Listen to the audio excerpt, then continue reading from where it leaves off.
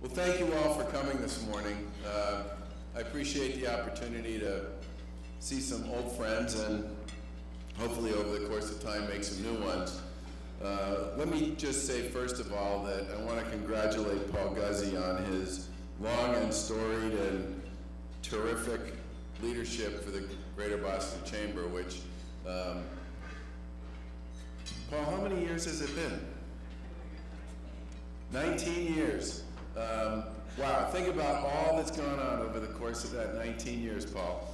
Well, congratulations and thank you very much.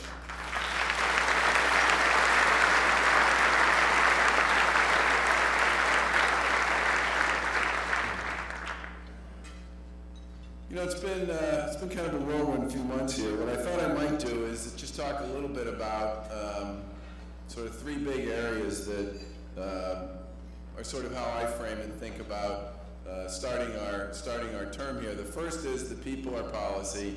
The second is you need to make a good first impression, and the third is don't be surprised when you get surprised because that's just one of the things that happens in public life. Now, with respect to people or policy, we've spent a fair amount of time building our cabinet over the course of the past uh, couple of months. Uh, it's a very bipartisan team.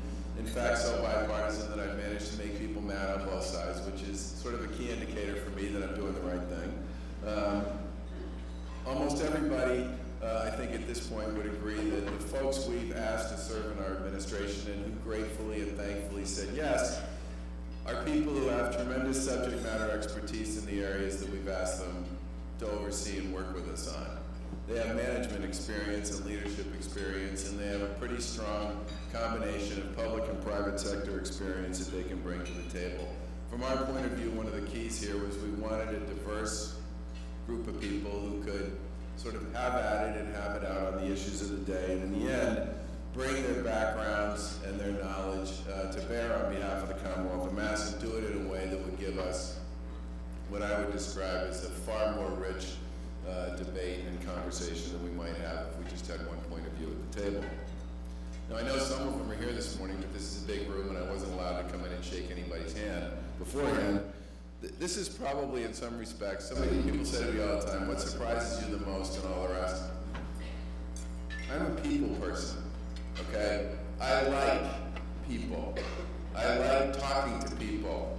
I like hearing from people. When you're the governor, no one will let you do that anymore.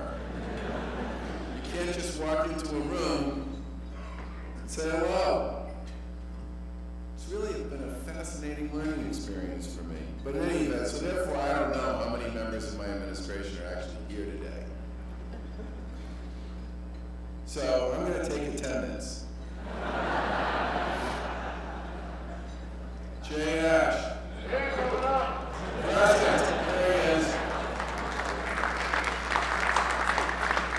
Matt Beaton.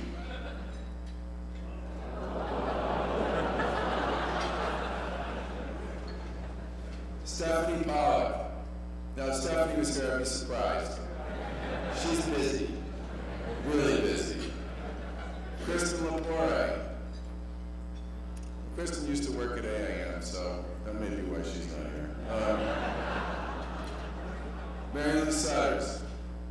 Mary Lou's also got her hands full. These people are at work. Ron Walker. Dan Bennett. I know Steve Kadish is here. Where are you, Steve? There you are. All right. He's allowed to talk to people, so I would urge you to make sure you give him your business card. Uh, Jim Conroy, you here? Deep in the back. Um, the great part about this is uh, not only do these folks bring a wide variety of points of view to the table, they also uh, they also share my fundamental commitment, which is ultimately about getting stuff done. Now, with respect to making a good first impression, one of the things we spent a fair amount of time doing after the election was literally just calling people. Um, calling people to say thank you, calling people to introduce ourselves uh, to people, and hosting and holding meetings with a variety of people who we it was important for us to reach out to. And, and in some ways, uh, I was kind of surprised by the fact that we surprised a number of people. I visited many local officials who actually worked pretty hard for my opponent um, during that period between the election and the inauguration. And this, for many people, was surprising. Not so much for me, my view on this is pretty simple, which is elections are competitions. When the elections are over, you actually have to get into the business of governing. Uh, I spent a fair amount of time talking to a lot of people and visiting a lot of places where uh, there were plenty of people who didn't support me when I ran for governor. But my view on that is, uh, and I said this throughout the course of the campaign, my job is to represent 100% of the people in Massachusetts if I'm fortunate enough to get elected.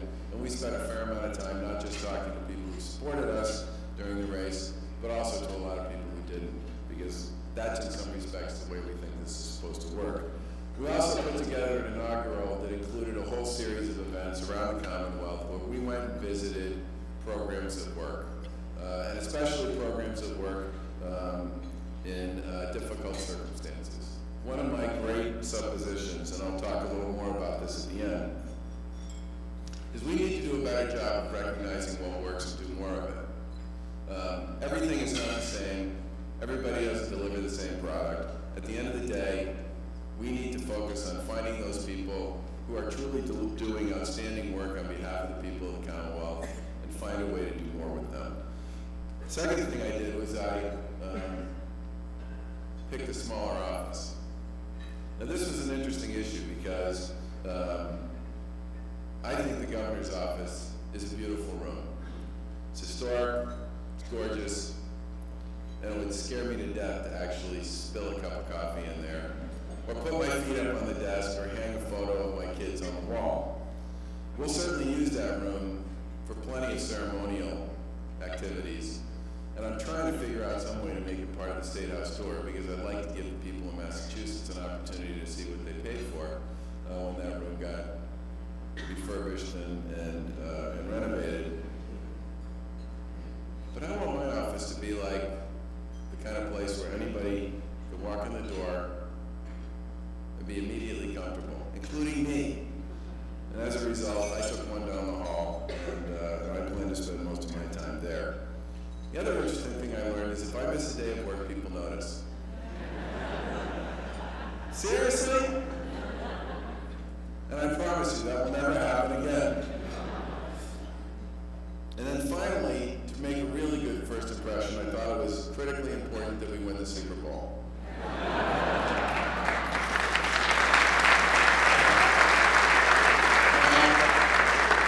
I put a tremendous amount of effort into that, as you all know. But the one thing I did do, which was a little unusual, was I asked a small bakery in Springfield called the Coffee Cup to be one of my uh, suppliers for the bets that I made with the governors of Maryland, um, Washington, and uh, who was in between? Indiana and Indiana. Thank you. Jeez, don't tell Governor Pence that I blew that one. But the great part was we had a bakery in Springfield that went 3 and 0 across the playoffs, which was very exciting for them. And uh, we also got George Montilio and Brockton involved in this. Um, it was truly a magnificent, he's kind of our version of the cake guy.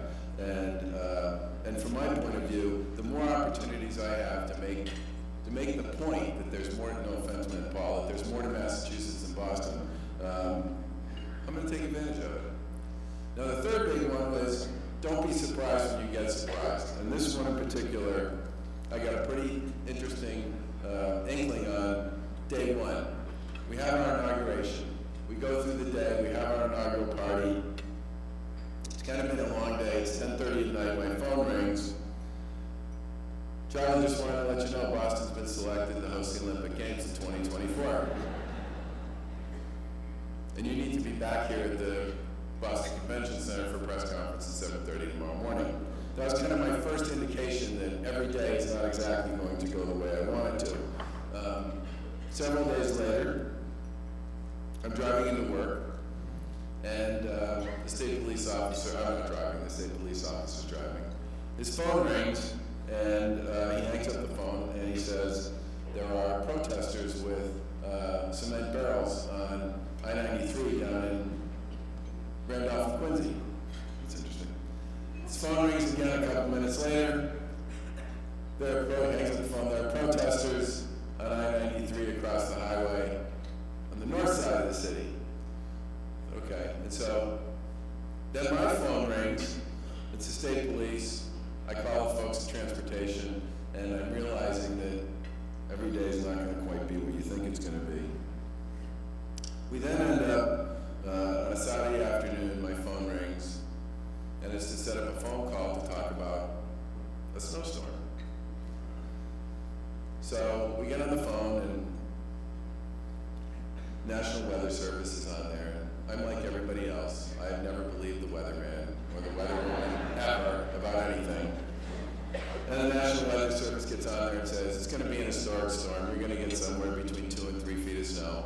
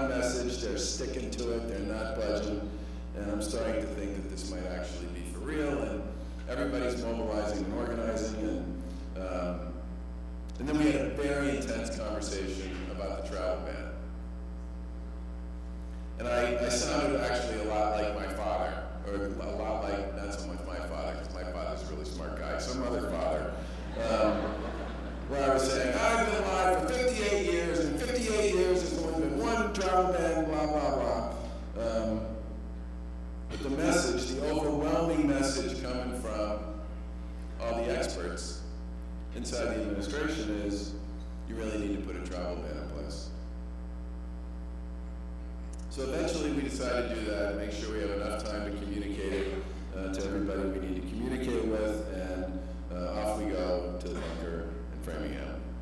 By the way, um, in the 1950s, the federal government urged every state in the country to build a bunker. Two did. Only one. It is the strangest thing to walk down into the ground and then all of a sudden, poof, there's all this stuff going on. Big bullpen, tons of offices. Um, I think there's also, uh, Steve, isn't there a morgue down there too? That's how long people plan to stay in the bunker. Um, so, down we go to the bunker, and there's maybe 10 or 15 people there, and, um, and I start getting briefed by Kurt Schwartz and the folks at, at MEMA about the process, and then the state police folks show up, and then the DEP folks show up, and then the DPU people show up, and then the energy folks show up, and then the uh, transportation people arrive, and, and everybody, the really interesting thing about this is everybody knows what seat they're supposed to be in, everybody knows basically what their role is. This is a movie they've all seen before, uh, participated in, and um, and just watching this thing develop and play out at a staff level, as I was sitting in this big bullpen, was very informative because um, there's not a lot of wasted motion. Everybody seems to be getting along. The interagency stuff has already been written and agreed to because it's all part of the emergency orders that they already have in place. All their email lists work.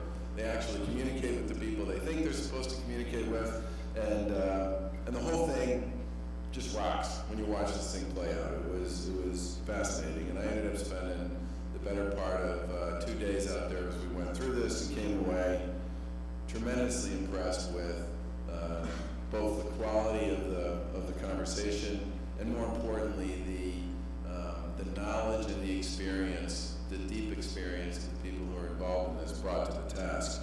Um, and in some respects, it gave me a, uh, a certain confidence and comfort that we could work our way through uh, another one of these. Little did I know. Um, and the big lesson I took, of course, from the second one is there is a cumulative impact to this stuff, and especially uh, for the, the transit system. Um, Stephanie Pollack, Stephanie Pollack's a very funny woman. She, um, she said to me at one point in one of the calls, you do realize, of course, that some of the trains out there people rode on during the blizzard of 78. Certainly one way of helping me understand the point you're trying to make. Um, and then the final big surprise, although it wasn't that big a surprise, was the fact that there was a budget deficit. I think the big surprise to all of us was the size of the deficit. 765 million plus or minus, um, driven by a lot of things, but one of the main pieces to this was the botched rollout of the uh, Affordable Care Act and the uh, implementation of the, of the connector. That created a, sort of a, a requirement almost in some regards that the Commonwealth offer interim mass health coverage to hundreds of thousands of people, and those cost drivers represent a big part of the issue associated with the deficit. Now, um, just to put this in perspective, Health and Human Services is about a $19 billion secretariat. Overall spending in Health and Human Services in this fiscal year is going up about 8%. The Mass Health Program uh, represents about 13.5 billion of that 19 billion. And spending on mass health is going up 13% this year. 13%. Um, that would be a very big year-over-year increase, and certainly one that's not sustainable. The other point to make, the other point to make here is that the rest of Health and Human Services, which is about a 5.5 billion dollar collection of programs and activities, that went up 2%. 2%. So everything else that goes on in Health and Human Services went up 2%. Mass Health went up 13%. The Secretariat overall went up by 8 One of the major initiatives we're going to be pursuing as an administration is a whole series of reforms with respect to the Mass Health Program because it's critical not just for the Mass Health Program, but for the rest of Health and Human Services and the rest of state government, and local government, by the way, we bring this program into some degree of financial sustainability and integrity, because if we don't solve that problem, we're going to create all kinds of issues for ourselves everywhere else in the state budget. There are a lot of issues associated with this, but certainly one of them is the Commonwealth, because of the failure of the rollout, went over a year and a half without actually redetermining eligibility for the program. Um, we did get permission from the federal government start doing that right now, and as long as we get it done by the end of the year, um, I think we'll be okay with them, which is really important since they pay for 50% of the program. But the other point I would make with respect to this is there are a lot of people who actually have coverage right now who are doubly enrolled. They have private coverage. Since no one on the Mass Health side has ever asked them if they have other coverage, they're continued to be carried on the Mass Health program, so they're doubly covered. Um, there are a whole series of issues associated with this program. We're going to have to dig deep into them. We have hired a terrific person to run the connector, Louis Gutierrez, who was the Chief Information Officer for the Commonwealth of Mass when I was Secretary of A&F, and also the Chief Information Officer at Harvard Pilgrim when we went through the process of um, solving a very messy and significant technology problem when I was there. He knows a ton about healthcare, he knows a ton about technology, and uh, he knows a ton about government, and he's exactly the right kind of person to help us work our way through that. We also hired um, a fellow by the name of Dan Tsai to be the head of the Medicaid program. Dan is a, he is now a former McKinsey consultant um, who was the head of their state payer practice. So he's been involved with Medicaid reform initiatives in many, many states around the country and has as good an insight and visibility into what's going on with respect to Medicaid around the rest of the country as anybody. And they are going to have their hands full. Um, but the work that they do in particular is going to be incredibly important to our ability to deal with our fiscal circumstances, period.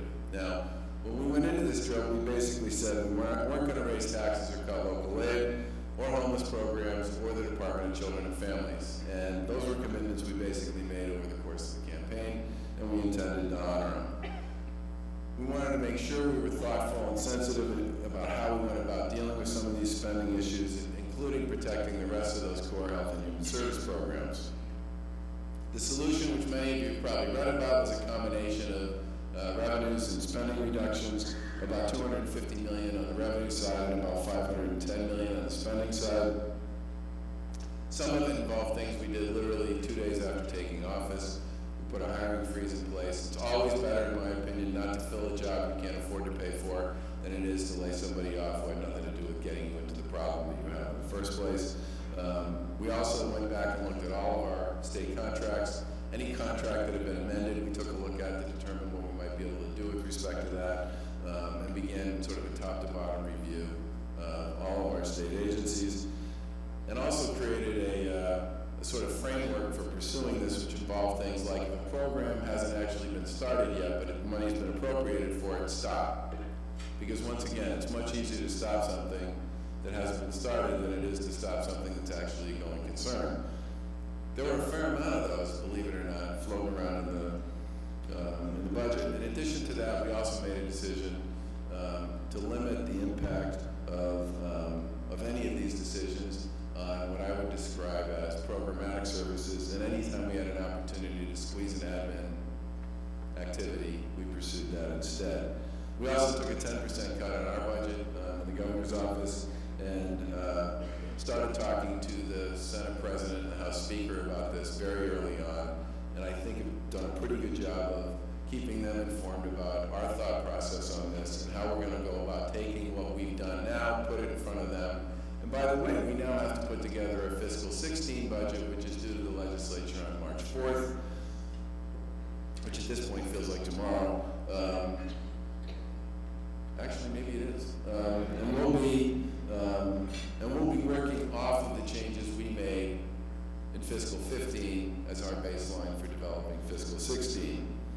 Now, with all this activity and everything we've done, the final point I'd make about the budget, we're still talking about overall a 7.7% year over year increase in state spending in fiscal 2015.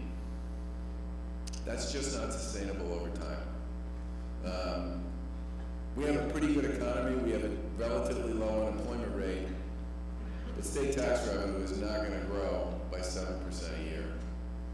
Four and a half, five and a half, yeah, maybe six, not 7.7, um, not eight. So one of our major objectives to restore sort of fiscal integrity in fiscal 2016 is going to be make sure we put together a budget that actually creates a sustainable platform on which people can predict, be predict, can make predictability decisions about where we are and where we're going going forward. I do believe that we have bipartisan interest in solving this both this year and next year, and we're looking forward to working with legislature on that. And it is vital that we get this right because setting that platform has a lot to do with how we actually go about the process of making the sorts of investments we'd like to make going forward and sending the kind of signals and messages to our businesses, to our cities and towns, to our startups, and to everybody else about where we are and where we're going. Now, with respect to the economic agenda, I just say a couple things. One is um, the strength of the dollar is, is, a, uh, is an interesting issue for us because we have a lot of businesses that send a lot of product around the globe. And a strong dollar obviously means the price of our products here in the Commonwealth um, becomes slightly less competitive, which means we need to work even harder on the things we can control.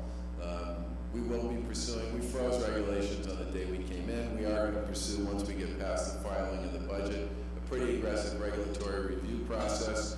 Um, Jay Ash and some of his folks will probably be leading the train with respect to that. So if you have a particularly gnarly regulation you'd like to talk to somebody about today, he's standing right there, folks. And, um, and I'm sure there's nothing Jay likes more than a really deep conversation about regulatory policy. Right, Jay? Right, yeah. Um, we are also going to work on developing what we, we're describing as a regional approach to our economic development strategy. What works in Barnstable County is not necessarily what works in Bristol or in the Berkshires. And one of the things we would like to do is lay out our approach to economic development on a region by region basis because every region is not the same. They have different strengths, they have different opportunities, um, they have different gaps. Um, and we want to build our strategy with respect to the local business community and to local uh, local officials around what works in each region and take it from there. Um, we also are going to pursue a series of initiatives around that competitiveness issue that Paul talked about. The biggest one coming out of the gate is going to be energy. Um, I've already had conversations with most of the other New England governors about this. Because we all operate on a regional grid, it's important that we be uh, working and collaborating as a team when it comes to this. And I'm hoping that we'll be able to sit down uh, later this month as at the uh, National Governors Association meeting in Washington and have a thorough debrief and discussion about energy policy because this is one where um, we really do need to depend on each other across this region if we're going to develop a successful strategy to deal with the fact that at a point in time when many sources of energy are actually dropping in price because Massachusetts and New England haven't been able to create the kind of uh, capacity actually access a lot of this energy, we're seeing our prices go up 30 and 40 percent for families and small businesses, which obviously for a state that was already very expensive from an energy point of view is a problem.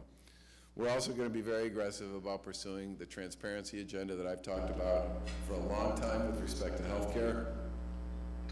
Same service, same person, same outcome.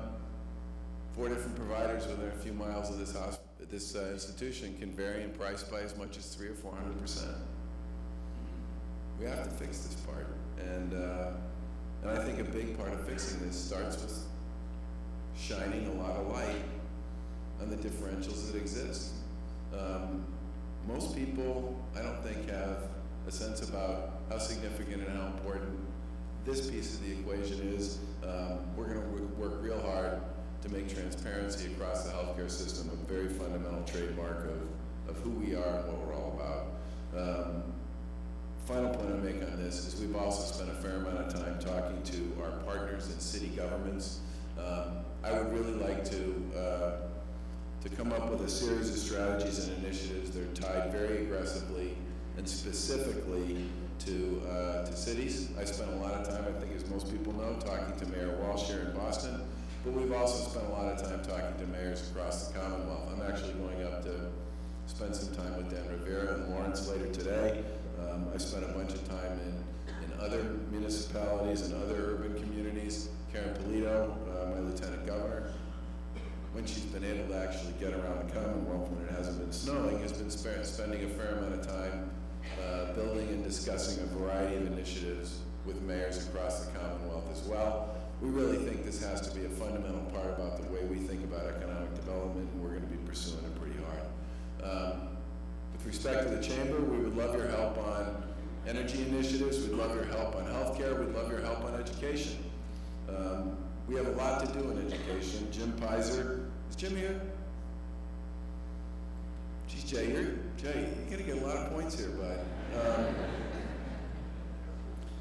Jim is uh, a real reformer, a real innovator, a real leader in education, and um, and he is a fountain of ideas. And um, we are going to have a lot to say and a lot to do on education, especially when it comes to dealing with the achievement gap, um, the affordability of higher education, and getting more aggressive about how we leverage and use online tools to enhance the education and student experience going forward. And we're going to look forward to working organizations like the Chamber on those kinds of initiatives.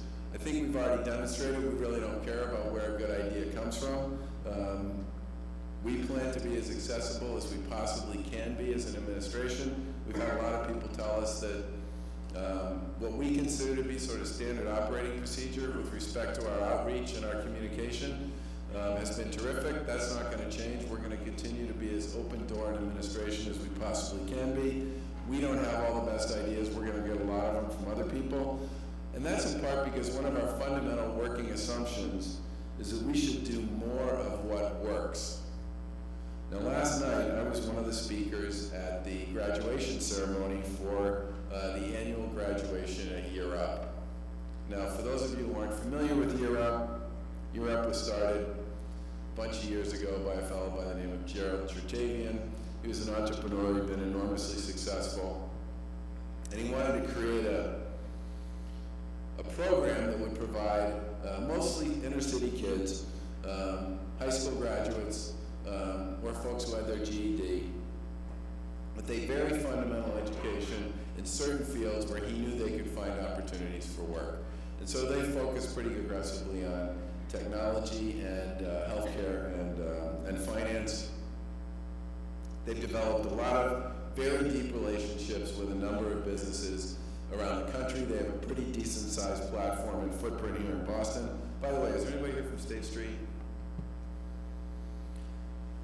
State Street is one of Year Up's biggest corporate partners, and uh, you know, God bless you, because it was very clear last night, listening to those kids talk who are graduating, that many of them are going to work at State Street, many of them interned at State Street. State Street has been a tremendous provider of mentors to support the kids who are working through those programs, and you are doing a fabulous job for a great program that is really changing the lives of a lot of those kids. So congratulations and kudos to you. Thank you.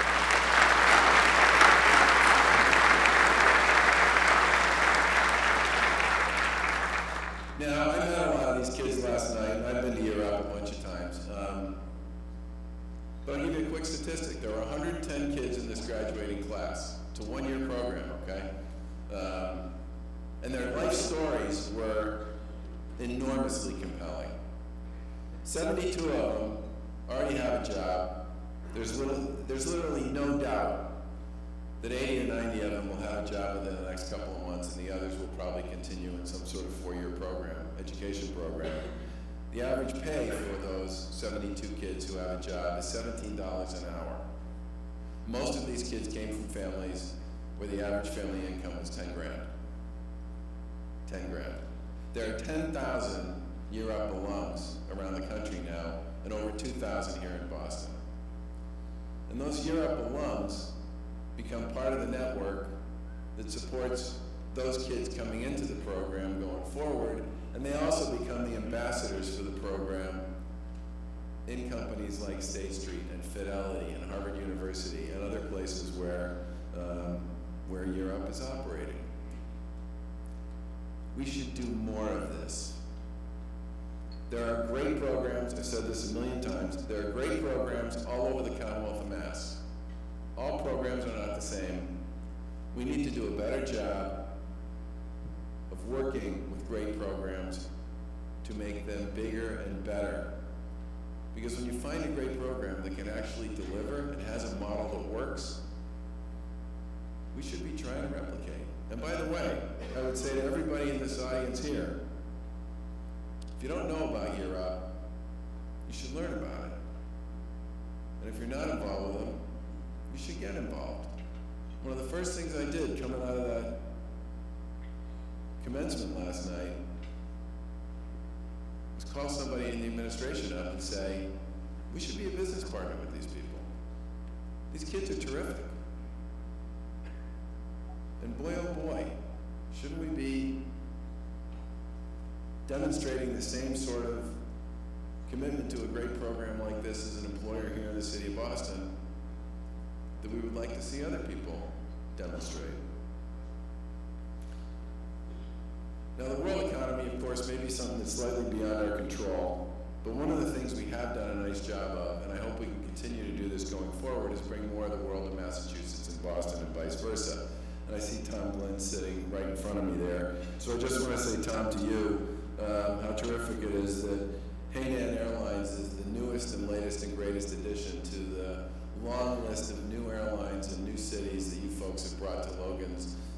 sort of footprint over the course of the past four or five years. And that is going to be a significant part of how we continue to build our brand uh, and make Massachusetts and Boston special and unique in the global economy. So Tom, thank you very much for what you and Massport have been up to.